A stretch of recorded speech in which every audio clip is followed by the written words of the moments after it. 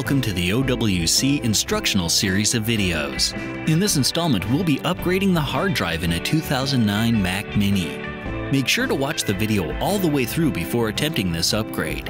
As you'll see, getting into the Mini is a somewhat tricky procedure and professional installation is suggested. We have shut down and unplugged the Mini and are working on a soft static-free work surface. We are now ready to begin.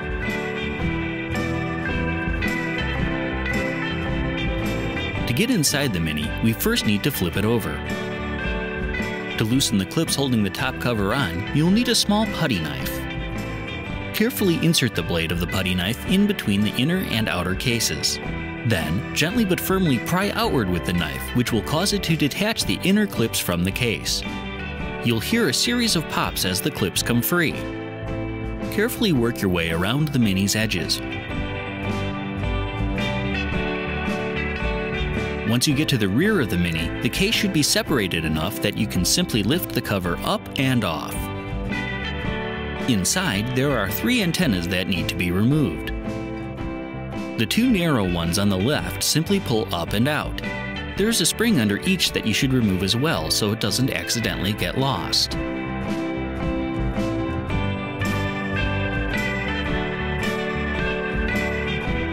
The frontmost antenna's wire is held down with some tape, so you'll need to remove that to move the antenna and wire clear of the base.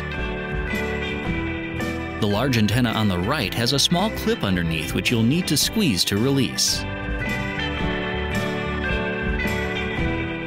You'll want to remove this spring as well. There are four screws you'll need to remove to detach the drive assembly from the base. The front left screw is located here.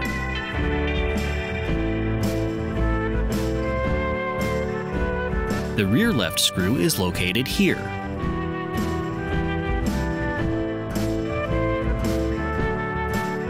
The right rear screw can be found here.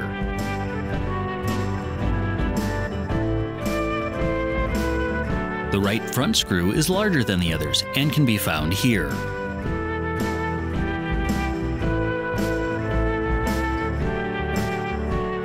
Once you've removed the screws, detach the SATA cable that holds the two halves together.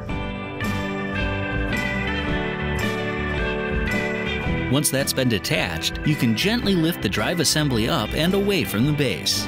It may take a little maneuvering to get the assembly clear. The hard drive is located on the underside of this assembly. It's held into place by these four screws, which will need to be removed.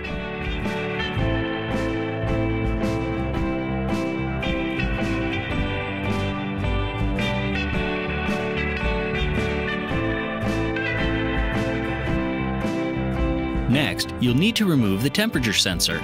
Use your nylon pry tool to gently pry the sensor loose from the drive. Then detach the tape holding the cable to the drive bottom. Push the drive forward within its bay to loosen it from the SATA connector. Then, use your pry tool to help lift it up and out of the assembly. There are two anti-static cushions on the drive which will need to be removed. Gently peel them off and set them aside. You are now ready to install the new drive.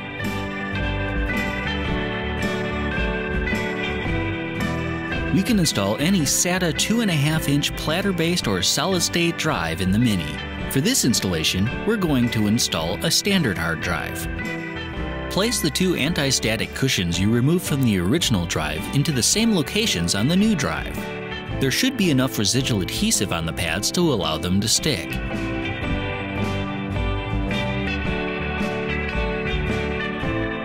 Slide the drive back into its compartment, then tip the assembly so that the drive is on the underside. You should now be able to slide the drive onto the SATA connector. Next, replace the four mounting screws that hold the drive in place.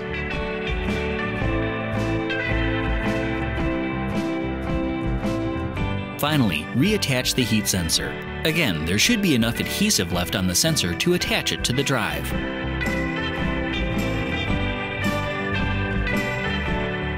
Replace the drive assembly back into the base, making sure not to pinch any of the antenna wires. You may need to adjust the positioning a little until the assembly fits into place. Next, reattach the drive ribbon cable. It's now time to replace the screws. The large screw goes in the front right position. The three remaining screws are all the same size and go in the three spots you removed them from earlier. Place the springs on the antenna posts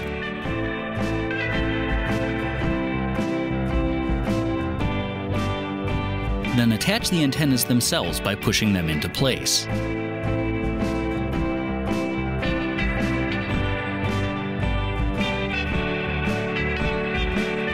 For the large antenna on the right, you may need to squeeze the clip you used to remove it in order to replace it. Once that's done, you may now replace the top cover and push evenly around all the edges until it clips flush back into place.